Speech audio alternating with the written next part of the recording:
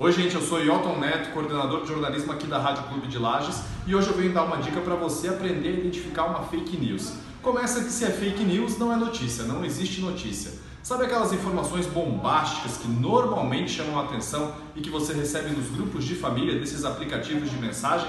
Pois é, normalmente essas notícias que tanto chamam a atenção, elas são falsas. Antes de compartilhar, busque a fonte, busque saber se é verdade e mesmo que tenha link, desconfie. Essa e outras dicas de como identificar uma fake news você encontra no site da Acaert.